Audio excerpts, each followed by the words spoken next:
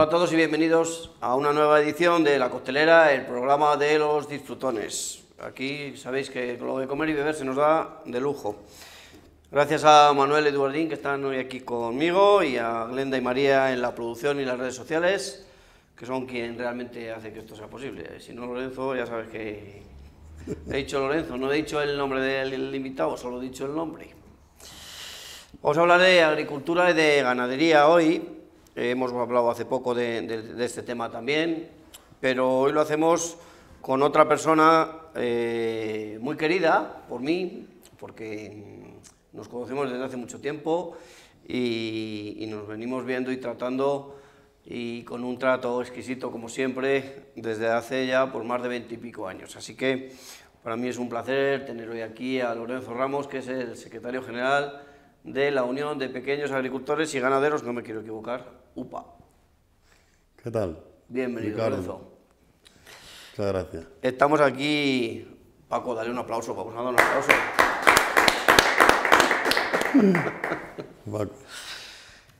que, vamos a hablar un poquito de, agricultura, de lo que pasa en el sector, pero a darle otra óptica un poquito más... Distendida. Más distendida, exactamente. Imagínate que, por ejemplo, estamos pues, en un bar de tu pueblo o del mío, charlando y hablando pues, de las cosas que, que pasan o de las que pueden pasar y, me contestas con hasta donde puedas con el, con el corazón, como si estuviéramos en el bar, vamos, así apoyados en la barra. Tomando una cerveza. ¿Cómo ves al, al sector, Lorenzo?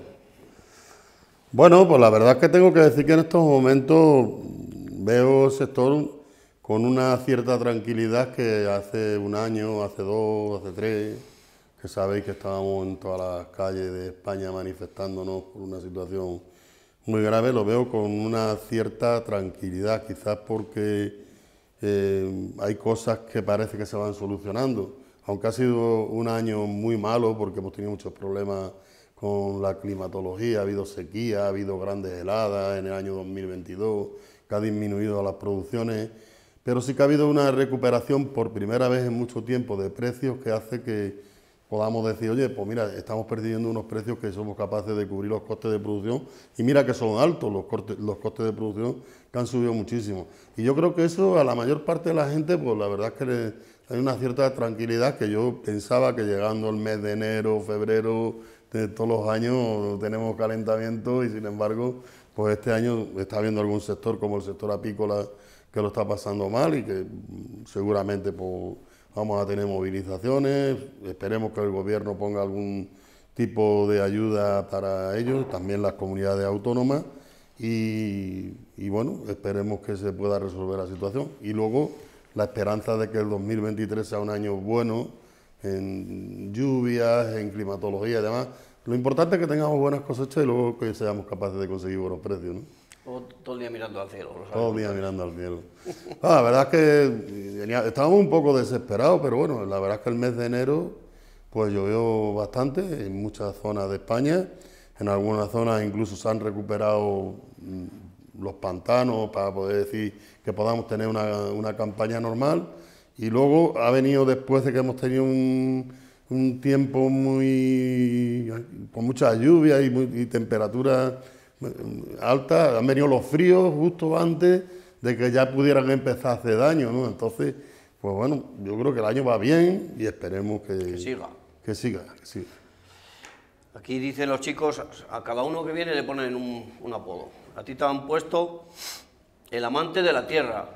Ahora estoy pensando yo en la revista que tiene la UPA que se llama La Tierra. Se llama La Tierra. la Tierra ya tiene 40 años, vamos a hacer ya en este, en este 2023 y bueno, pues alguna celebración haremos. Habrá que hacer. ¿Qué tienes allí, qué cultivas tú en, tu pueblo, en Extremadura? Bueno, nosotros, yo soy de un pueblo de colonización, de estos que ahí hemos tenido de todo. Empezamos por tener vacas de leche, teníamos, eh, sembrábamos tomates, remolachas en tiempo y tal. Pero al final yo cuando ya me hice cargo de la explotación, pues mm, tiré por el sector de, las flores, montamos unos invernaderos con, mi hermano, con su familia, y tal. Luego mi hijo se ha incorporado y sigue y tenemos pues la verdad que una explotación familiar de producción de flores y plantas ornamentales, también vivero de, frutales, pero vamos, con eso ocupamos aproximadamente una hectárea y luego el resto lo tenemos de árboles frutales. Tenemos melocotón, nectarinas, ciruelas. También he puesto un poquito de olivo, olivo eh, súper intensivo, de, de, arbequina. Ya estoy cogiendo, ya, ya he probado yo mis primeros aceites también caseros, ¿no? O sea que muy, bien, estoy contento. La verdad es que bueno, el sector de la fruta nos ha dado muchos sofocones. Este año al final parece que bueno, las cosas no han salido todo lo mal que pensábamos que iba a salir. Y la verdad es que bueno, eh, el, probar, el, tener otras cosas como los olivos, sobre todo es porque nosotros tenemos mucho trabajo con los invernaderos, eso da muchísimo trabajo, hacemos venta local, o sea, nosotros salimos todos los días a vender con unas furgonetas que tenemos a los mercadillos de los pueblos de Extremadura, que es donde vendemos. Vendemos también algo a tiendas y almacenes y eso, pero la mayoría lo vendemos directamente y eso, pues, la verdad es que conlleva mucho trabajo. ¿Cuánto tiempo hace y cómo llegaste a la, UPA? pues la verdad es que ya hace muchos años que empecé en la provincia de Badajoz. Eh, yo estaba en el campo durante una época, nosotros somos 11 hermanos, imagínate, pues bueno, teníamos, ayudábamos a mi padre, unas veces uno, otras veces otro. Yo cuando vine de la mili me, me hice el cargo de la explotación, porque mi hermano que iba detrás, entonces se fue a la mili. Y mi padre en un momento determinado llegó y dice, algo tenemos que hacer, porque si os vais todos a trabajar por ahí, pues, ¿qué hacemos con, la parcela? ¿no? La parcela le decimos nosotros allí a, en los pueblos de colonización.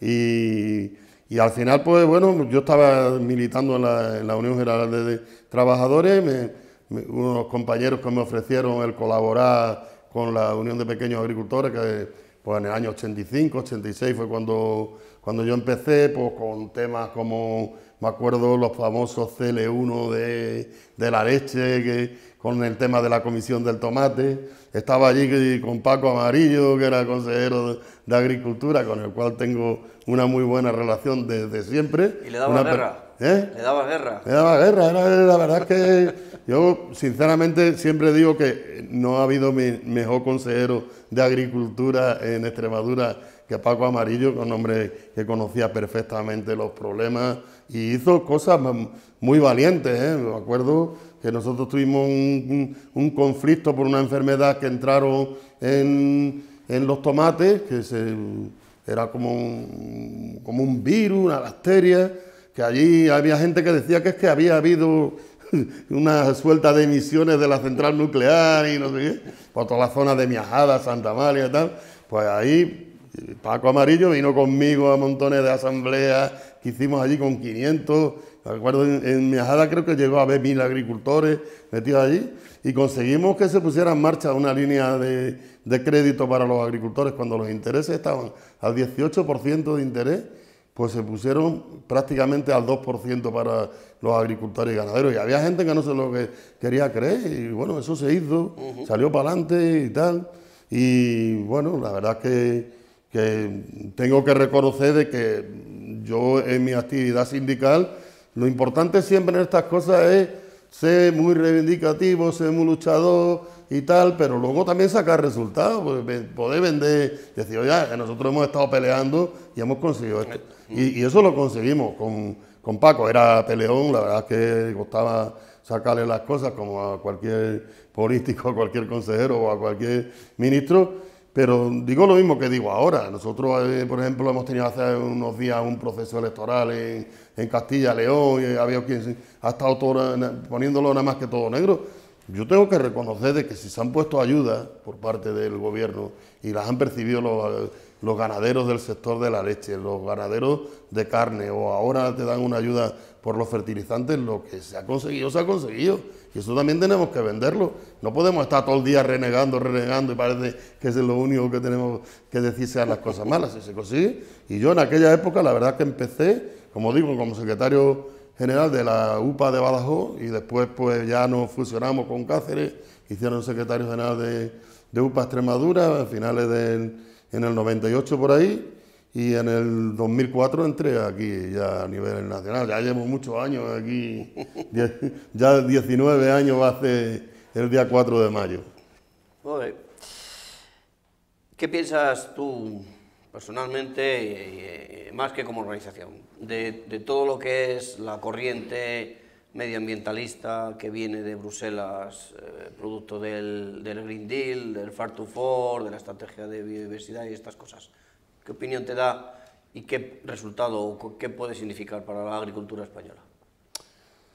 A mí me preocupa de que las cosas se hagan por el mero hecho de lo que es decir, o es la moda o es lo que hay que hacer. nosotros estamos dispuestos a hacer esfuerzos, que lo hemos hecho los agricultores y los ganaderos, y más los españoles que llevamos mucho retraso con respecto a otros países, porque entramos muy bastante después en la Unión Europea, hemos tenido que hacer muchos esfuerzos para adaptarnos. Y lo que me molesta es que eso no se sepa reconocer y que nada más que se ponga como que lo malo, lo que eh, como diciendo, no, es que somos los que contaminamos, somos los que generamos eh, problemas. Yo sinceramente creo que las cosas hay que hacerlas con cabeza. Y el que, por ejemplo, se hable de los productos fitosanitarios, que yo entiendo que son pues, los medicamentos que nosotros necesitamos utilizar para combatir las enfermedades de las plantas, porque eso es así. O sea, eh, yo una planta se, o bien para prever la enfermedad o cuando tiene la enfermedad, le tengo que echar un producto para curarla. Igual que, igual que las personas, ¿no? Entonces, que eh, alguien, primero, que son pesticidas, que no sé qué, que no sé cuánto, que se diga que hay que eliminarlo simplemente por criterio mm, de que hay una posición muy fuerte de los movimientos medioambientalistas. Si la ciencia no dice que esos productos sean problemáticos para la salud, mm, creemos que hay que hacer las cosas con cabeza. Yo no soy el, soy el primer interesado, yo este fin de semana he estado haciendo los tratamientos, que los hago todos, los tratamientos que se hacen en mi explotación de mis frutales los hago yo. Yo no quiero envenenarme, me pongo todos los medios de protección que sea, pero si es un, un producto que me puede generar problemas, si yo soy el que lo estoy tratando y demás, pues soy el primer interesado en que sea una cosa que no me genere ningún problema ni lo pueda generar a la sociedad que consume mis productos. Pero la verdad es que creo que se han puesto de moda el tema de dar mucha caña, el reducir por reducir. Pues usted habrá que quitar lo que haya que quitar, pero porque resulte que, que sea dañino para, para la alimentación, para la salud de las personas y tal. Pero lo que científicamente esté demostrado que no lo es, no hay por qué eliminarlo, al contrario. Tenemos que saber que tenemos que producir alimentos. Y ahora tenemos un, problema, hemos tenido la pandemia, tenemos lo de la guerra, tenemos eh, conflictos que cualquier día nos podemos esperar cualquier cosa. Oye, garanticemos la, alimentación de los ciudadanos de la Unión Europea y, para producir para el resto del mundo, ¿no? Digo yo. Digo yo. Yo aquí me estoy tomando un café, que el café viene con café, con leche, pues, eh, para comer y para disfrutar, pues hay que producir alimentos. Hay gente que se piensa que, por ejemplo, los ganaderos le, echan a los animales medicamentos por echárselo. Pero ¿por qué? Por qué cuesta. o sea, que tú le estás poniendo a los animales ahí... Pues, si hay un animal que está enfermo y le tienes que poner antibióticos, eso le tendrá que poner. Yo estoy tomando antibióticos ahora porque me estoy arreglando la boca y el otro día tenía la cara hinchada, ¿no? Pero cuando no me los tengo que tomar, no me los tomo. Y cualquier ganadero de leche que además quiere a las vacas como a cualquiera de su familia, porque con ellas está todos los días y demás, pues le tendrá que poner los medicamentos cuando los necesita, ¿no? Cuando se le, se le antoje decir todos los días, pues venga, hoy voy a ponerle aquí antibióticos porque así pues, tampoco significa que vayan a producir más, ¿no? No. Aparte de tus mujeres, eh, me acuerdo que hicimos una entrevista con, desde allí, desde el campo, con tu hija preparando la, tableta y tal, y tus nietos que te llevan mucho, te llevan a ti por donde quieren ya. ¿eh? Tengo dos y, uno que viene de camino en menos de un mes. Todos, todos, todos machos, yo no sé. No saben, no saben hacer chicas. de momento, por lo menos, relevo generacional parece que tenemos. ¿Qué es lo que más disfrutas cuando estás allí? Bueno, yo disfruto mucho, yo sobre todo disfruto porque me sirve muchísimo de, desconexión, me voy, yo voy todos los días al campo. Tengo que reconocer que este verano lo he pasado mal, ¿eh? las cosas como son. Yo este verano, entre las dificultades que había, la sequía, las olas de calor, es que en, Badajoz yo creo que nos hemos pegado más de 60 días con más de 40 grados y y, es que no tenías ganas ni, ni, de ir al campo, tenía como una depresión. Pasé, pasé mal, pero vamos, la verdad que, lo he superado afortunadamente. y yo disfruto yéndome los fines de semana, por supuesto estaba con la familia, estaba con los nietos, pero voy al campo yo em, prácticamente estoy todo, todo el día que, cuando no estoy aquí en Madrid, estoy en el campo haciendo cosas porque me viene bien montarme en el tractor más se piensa mucho. veo gente que incluso lleva hasta una libretita y se para y apunta cosas, ¿no? Yo intento que no se me olvide, pero se piensa mucho cuando estás haciendo cosas. disfruto mucho, me, viene muy bien, muy bien. Y aparte de tus mujeres, de allí de la casa, eh, también has trabajado mucho porque FADEMUR, que es la organización de vuestra, de, de la UPA, del ámbito de las mujeres, esté donde esté y coja prestancia de cuerpo y lo está haciendo. No sé que tú, tú eres, como dices, soy una más de vosotras, has dicho muchas veces, ¿no? Una más de ellas. La verdad, porque yo, es que Fademur nació justo el año que yo entré de secretario general de la UPA. Yo siempre he creído en el papel importante que tienen que desarrollar las mujeres dentro de la organización y lo desarrollan si están. Si no están, no, no pueden hacerlo. Y antes pues teníamos la manía de que por todas las ejecutivas éramos todos hombres y tal. Bueno, cuando llegó un momento que empezaron, pues la verdad es que además están haciendo un trabajo maravilloso, maravilloso.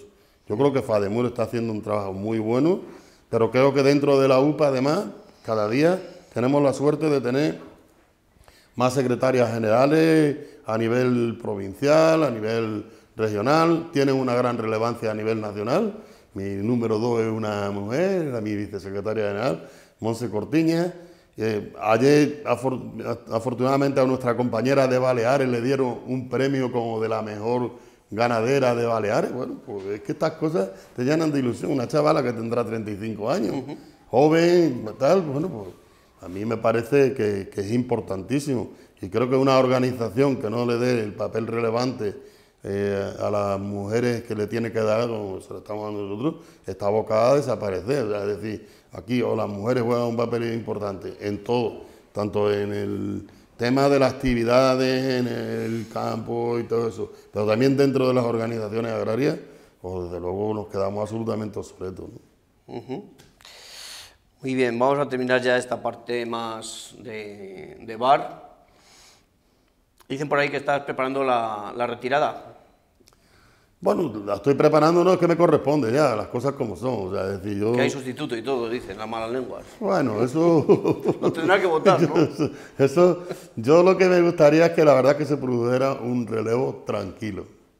Yo ya en el último congreso anuncié que era mi último mandato, yo voy a cumplir 65 años en mayo, me quedan todavía casi dos años de de mandato. Yo no voy tampoco a salir corriendo porque creo que no lo debo hacer, eh, sino que intentar pues, con los secretarios generales de todos los territorios, con las compañeros y compañeras que están en la Comisión Ejecutiva Federal y demás, pues que se haga un relevo que sea lo más tranquilo posible.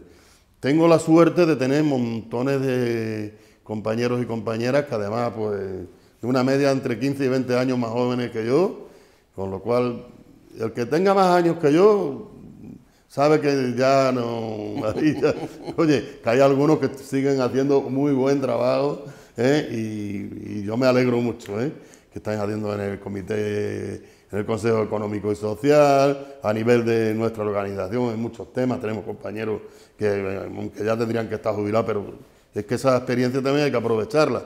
Pero luego, sobre todo, tenemos mucha gente joven. Tenemos mucha gente joven, tenemos el relevo asegurado y yo lo que me gustaría, lógicamente, es que lo podamos hacer de una forma tranquila, que todas las comunidades autónomas estén unidas en torno a la federal, que, se, que sepamos que aquí todos somos importantes, cada uno en, en el espacio que nos corresponde y que tengamos una organización fuerte. Yo creo que lo vamos a conseguir sin, sin ningún problema, pero yo lo único que dije es que creo que de todo el equipo que hay ahí, en la UPA, ahí estaría el próximo secretario general o la próxima secretaria general de la UPA. Y creo que en eso no, no me confundí. Estoy seguro que ahí está. Muy bien. Vamos a jugar un poco. Eh, ahí tienes delante de ti unos sobres de colores. Elige uno, cada uno tiene un nivel de, dificultad. Entonces, eh, eliges uno y yo te, te lanzo unas preguntitas a ver cuántos acertamos. ¿Cuál cogemos? que están ligados también los, los, colores con, ya sabes que ahora los colores también con la política. Entonces, si me tiro por uno me van a decir, ah, voy a tirar por este, venga. A ver, te voy a dejar la, la bocina para que luego le toques tú si quieres. Va. A ver, tírala. Vamos a ver qué nivel de dificultad has cogido. Eso es por si no quieres responder una pregunta. Eso es. Has cogido las fáciles, te ha salido el 1. ¿El qué? El nivel 1, así que van a ser fáciles. Sí, bueno, qué suerte. ¿Cuál es tu cóctel favorito? ¿O no, eres de cócteles? Sí, sí, sí, sí. A mí me, yo me he tomado... Eh, bueno, me, los gin tonic me, me, gustan, pero a mí lo que me gusta es el whisky con, con trinaranjus de naranja. ¿Con trinaranjus? Sí, porque procuro no beber gases. ¿Qué proyectos de los que tiene el sector y que conoces son así bonitos y de gran aportación para la sociedad? ¿Alguno que, tenga, que te venga a la cabeza? nosotros estamos desarrollando un montón de proyectos ahora buenísimos, relacionados precisamente con eso de, cuidar los suelos, de cuidar el medio ambiente, preparar los cultivos contra todas las adversidades del cambio climático. Estamos haciendo cosas sobre todo muy en, en camino del papel fundamental de las mujeres y de los jóvenes. La verdad es que yo estoy muy contento con los trabajos y los proyectos que nuestra organización en los últimos años está desarrollando, porque creo que incluso nos estamos adelantando a esos debates que nos vienen puestos por parte de, la Unión Europea. Yo creo que eh, ahí están todos los que hemos desarrollado a lo largo de los últimos cinco o seis años y los que estamos ahora mismo desarrollando en el tema de la calidad, Sabes que nosotros incluso hemos firmado convenios para poner en valor el aceite de oliva virgen tradicional y tal, que, se distinga como una marca de calidad.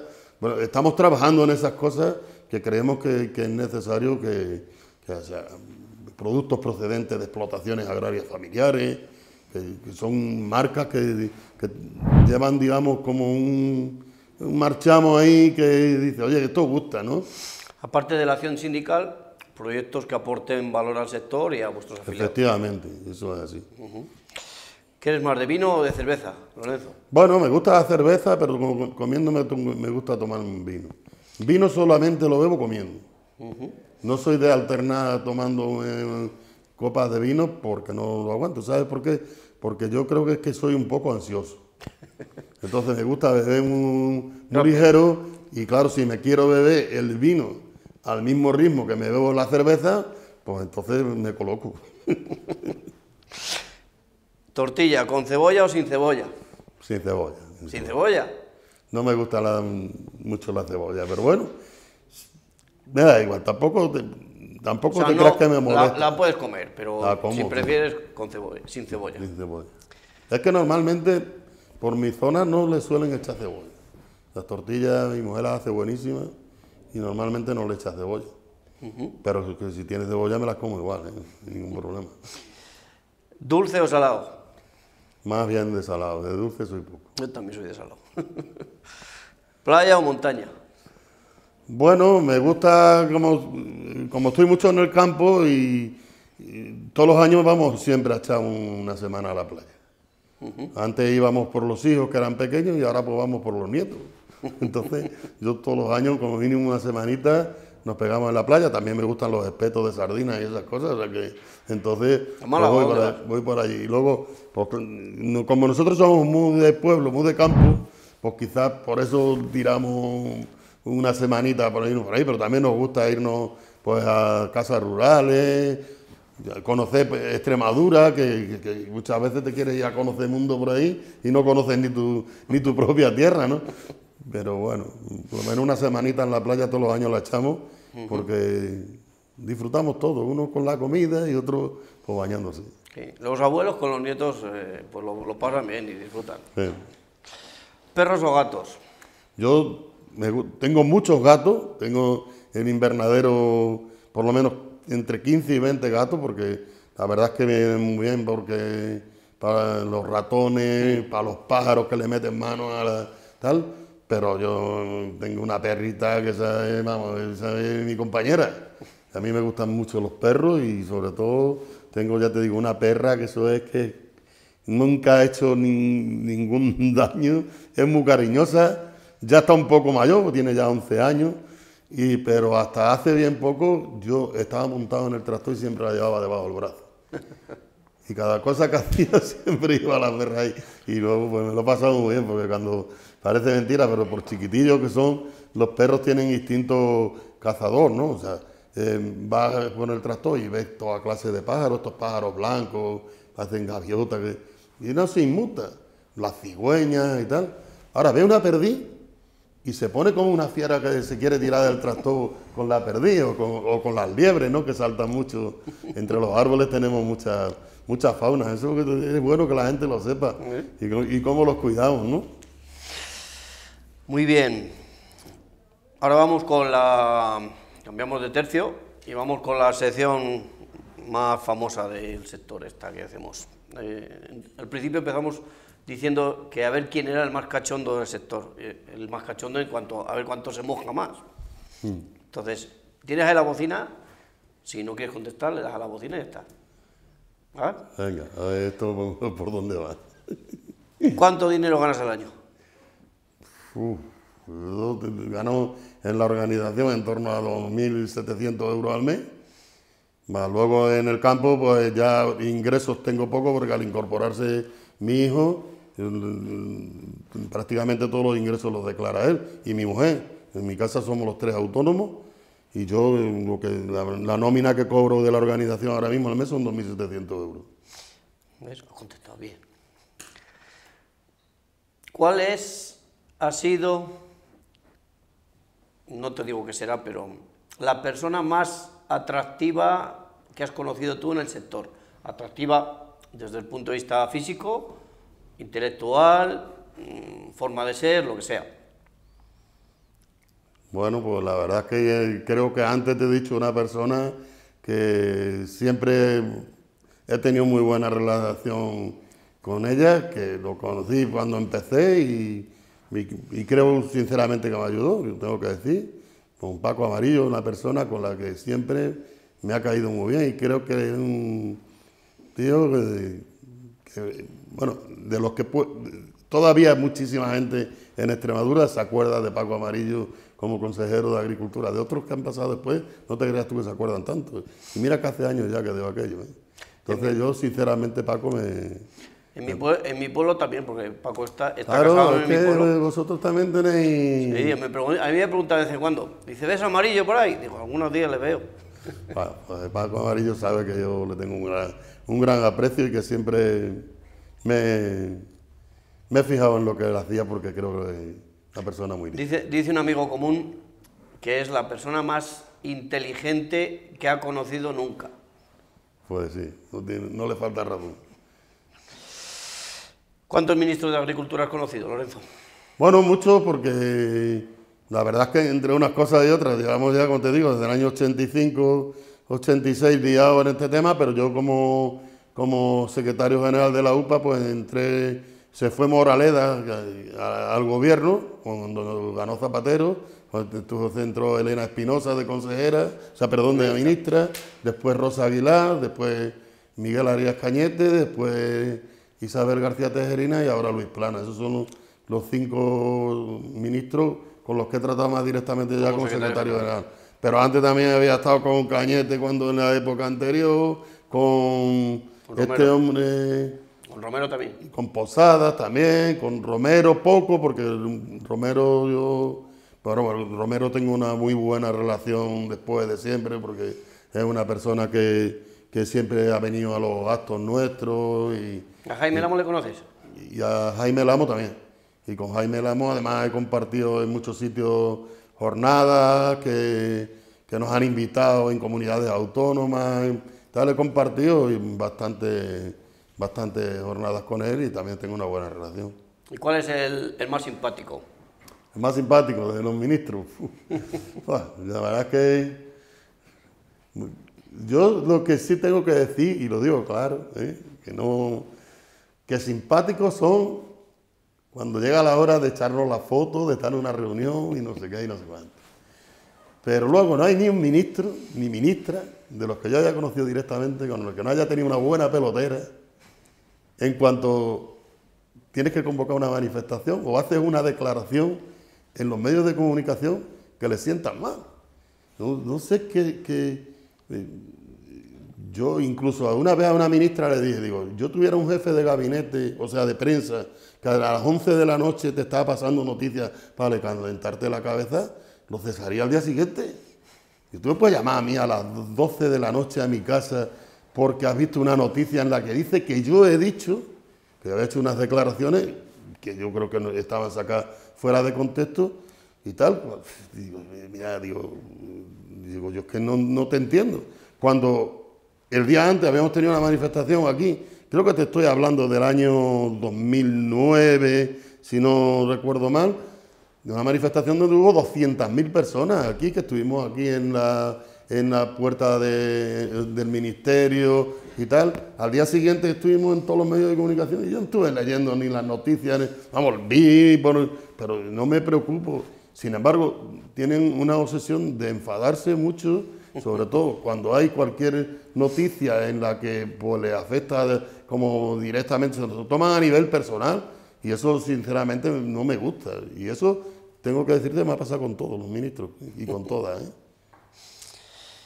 ¿Cuál ha sido, vamos a, hacer, a ceñirlo a la Secretaría General, cuál ha sido la mayor metedura de pata en estos años de Secretaría General, Lorenzo?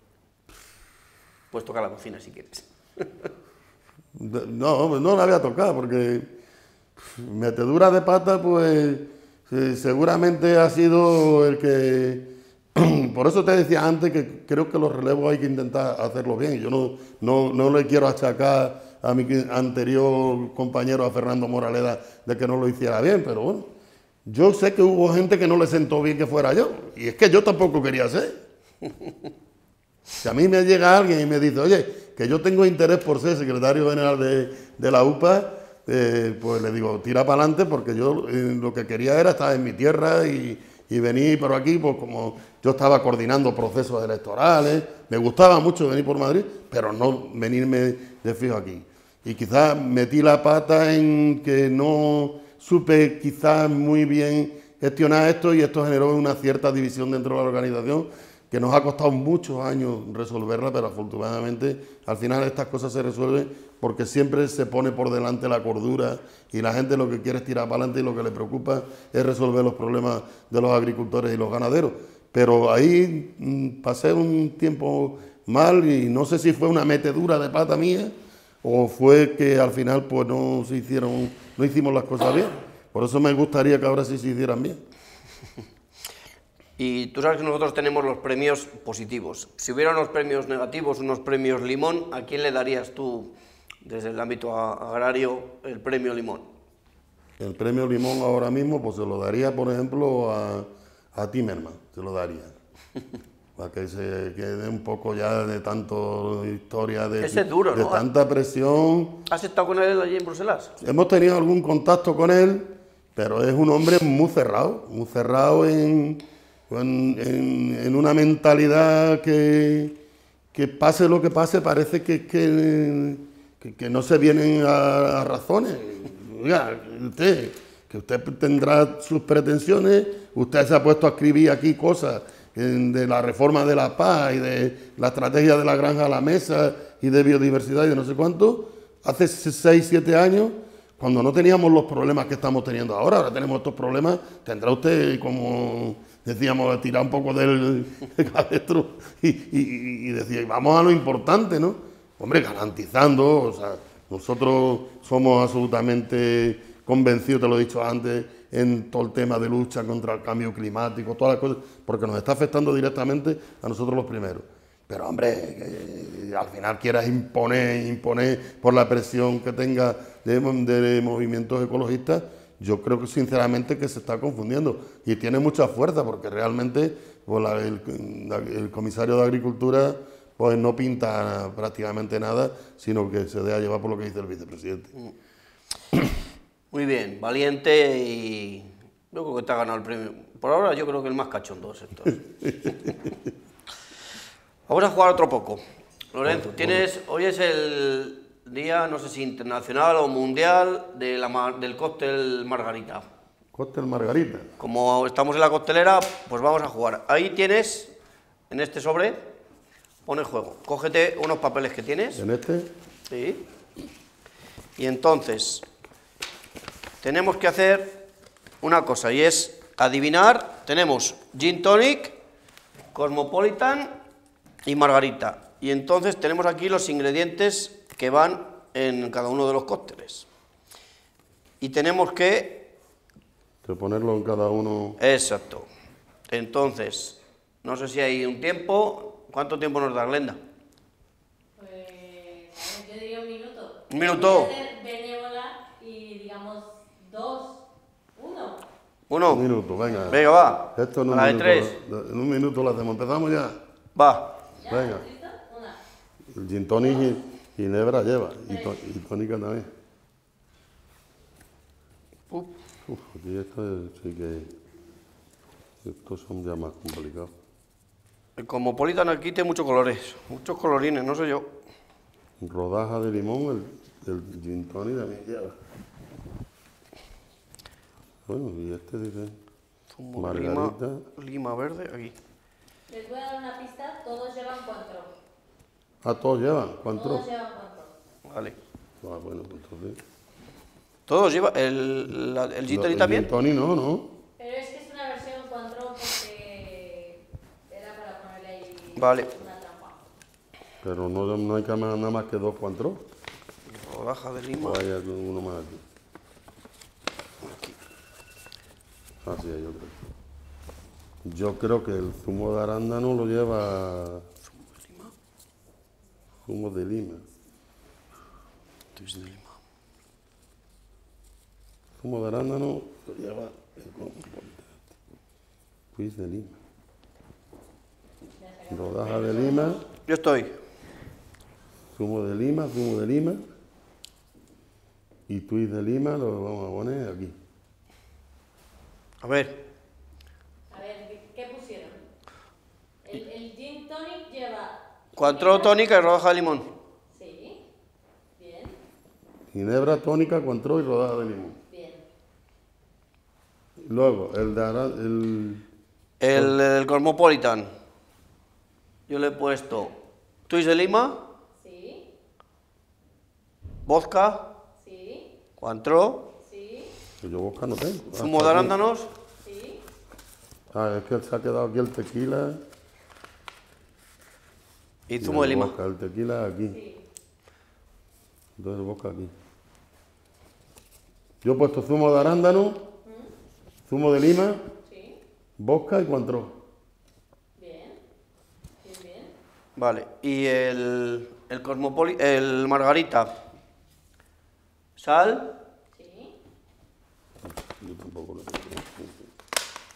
Que se ha quedado aquí, claro. Échale la sal. sale la sal. Zumo de lima. Sí, Rodaja de lima. No. no. Pues me he equivocado. Tequila y control. Ahora, rodaja de lima sí para decorar. Claro, es que hay rodajas de lima y rodajas de limón. Yo la rodaja de limón se la he puesto al, al gin tonic Sí, sí, bien. y entonces la de lima creía que era Sí, sí, bien, bien. Casi hemos aprobado, yo creo. Hemos aprobado. yo- aprobado. Ya Yo- ahora mismo están borrachos. Bueno, por jugar un poco, Lorenzo. Pero está bien, entretenido, así además aprendemos. Muy bien, pues vamos a ir enfocando el final ya. Vamos al, al tema del concurso. Cuéntanos qué, qué vamos a sortear, Lorenzo. Yo puedo aportar un, de- dentro de mi actividad un buen ramo de flores o una planta ornamental, que es lo que queráis, o las dos cosas. Una, una buena planta ornamental y un buen ramo de flores. Venga, ¿vale? ¿Vale? Pues eso lo vamos, Eso a, yo tengo, lo hago, lo hago llegar.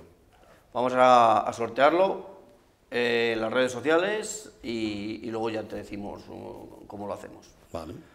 Flores de Extremadura, ¿eh, señores? Flores de Extremadura. Extremadura, cuando, cuando empecé yo a, a menearme por aquí, por este mundo, tuve que ir a hacer varios reportajes por ahí, por tu tierra, y, y- y al final, o al principio, mejor dicho, parecía que como que en Extremadura solo estaba la dehesa y ya. Cuando te bajas a Badajoz empiezas a ver el arroz, el tomate, el maíz, la viña, el olivar, las frutas. Yo iba con el coche, iba con un Toledo de mi padre y digo, me voy a pegar un golpe un día, que me- porque me quedaba mirando todas las cosas y, y es que es, hay de todo allí en, Hay de en- todo, en hay tu pueblo. Tremendo, la verdad es que mucha gente se, queda como un poco así asombrado cuando, cuando lo ve, pero la verdad es que Extremadura es una tierra donde hay de todo, como tú dices, de todos los sectores, y zona muy bonita, la gente conoce mucho la zona de- de- del Valle del Jerte, por lo del cerezo en flor, la zona de la Vera, que es muy bonita, está cerquita de Madrid y tal, pero luego también pues, tenemos zonas muy bonitas en el sur de Extremadura, toda la zona de la dehesa, los pueblos blancos, tenemos las zonas de regadío, las Vegas Altas, las Vegas Bajas del, del Guadiana, donde hay muchísimos frutales, donde hay mucho tomate, mucho arroz. Y mucho jamón. Y mucho jamón, mucho jamón. Tenemos zonas también pues, como las Urdes y la Siberia, donde hay olivos, hay ganadería, hay mucha apicultura. Somos, somos la región que más, más, más colmenas tiene de toda España. O sea que, bueno, la verdad es que yo creo que quien no la conozca, que se acerque y la vea cuanto pueda. Eso es. Te voy a regalar la última taza de la costelera, La última. porque ahora vamos a cambiar eh, los formatos y las cosas, pero a ti te quería regalar la última Muchas gracias. para que cuando estés allí, en- aquí en Madrid, en la UPA o en tu casa o donde estés, Lorenzo, te acuerdes de mí Bueno, y de nuestro programa. Muchas de la gracias. costelera, eh, por la mañanita con tu café, te acuerdes de nosotros. Muy bien, pues muchísimas gracias, la verdad. Me- acordaré y la utilizaré. Un placer haberte tenido aquí, espero que hayas estado a gusto Encantado, encantado. y pues nos seguimos viendo, ya seguro. Lo seguimos viendo. Muchas Muchas, gracias, ¿eh? Gracias a todos y volvemos la próxima semana con una nueva costelera. Así que hasta pronto.